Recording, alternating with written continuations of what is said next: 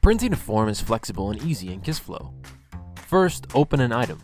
Then click on the printer icon at the top near the progress bar. You can choose if you want to print the comments or leave them off. You also have the option to print the approval flow or not.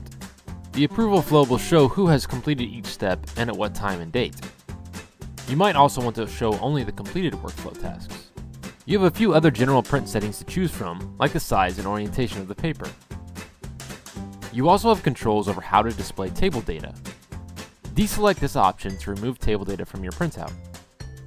Printing a row as a list makes sure the entire row gets printed even if you selected an error or page setting.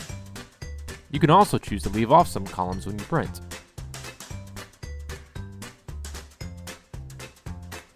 Once you are ready, hit print to get a paper printout or save as a PDF. This is what your printout will look like. And here are where the comments and the workflow tasks are documented. That's how to print a form with KISSFlow.